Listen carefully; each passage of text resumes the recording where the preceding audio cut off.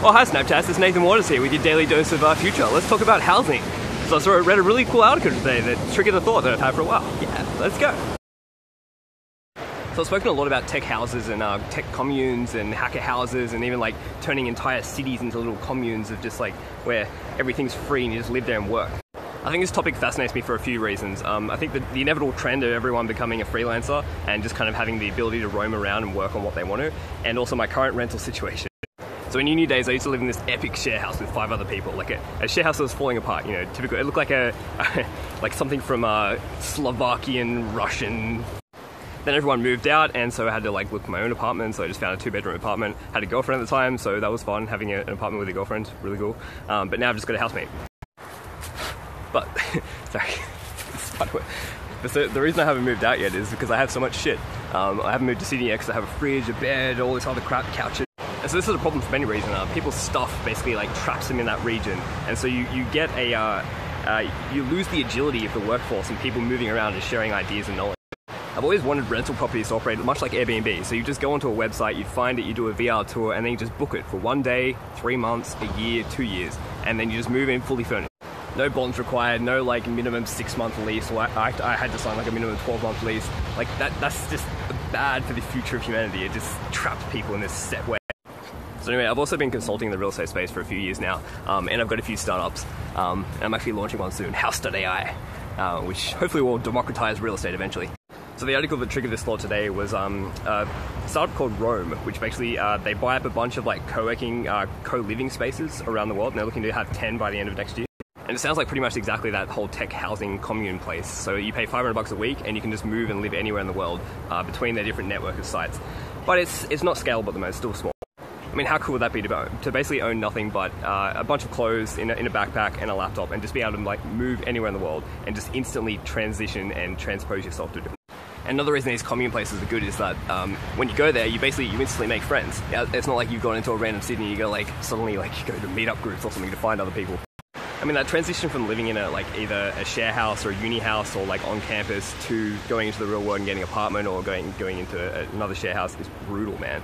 I've always thought it's depressing that apartment blocks don't have communal areas. Like it'd be great to have a skyscraper's tower where everyone has their own individual apartment, but every level has a communal bar or a cafe or some just some communal area.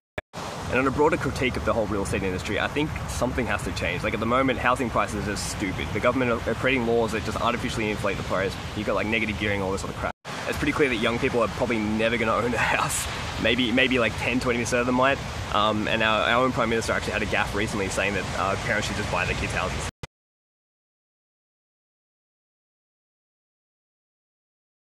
So here's kind of radical thought. What I'd love to see eventually is that all housing, all real estate, all property is owned by the social commons on a blockchain DAO. So it's owned by an AI and it's rented out. So everyone owns it, but it. Because isn't that just a depressing future if we're all on like a basic income and it's like, you know, 2020, 2030 and we're all like doing amazing things. It's a peer-to-peer economy and yet we're having to pay like half our salaries in rent. Because I mean, if you look at the basic needs of humanity, like you know, shelter, uh, food, water, electricity, internet, um, all of those things are commodities problem is we've turned shelter into an investment market. Like a, it's an it's a it's an investment vehicle, and so property investors are buying up these things, not giving a shit about giving affordable housing to people, but making. In a rational sane world, property and houses should be worth nothing more than the materials and labour that went into it, minus the condition and age, plus the demand on location. That's it. Instead, we're in this insane world where one, two, three bedroom houses are going for over a million dollars because there's laws in place that incentivize that and because people know that they can flip it down the line. But you can't just magically change how the world works overnight. So one idea I had for this whole blockchain-based social commons thing is that uh, retirees and people who like own that property, you could offer them a great deal. So let's say you're a baby boomer in your 60s and you own a, a say an apartment worth uh, half a million dollars. What this system could do is actually offer you uh, more than market price. It could offer you $600,000 to buy that off you. So this, this housing DAO on the blockchain offers you $600,000 for a property that's worth $500,000 now. The catch is it pays it out over 10, 20 years.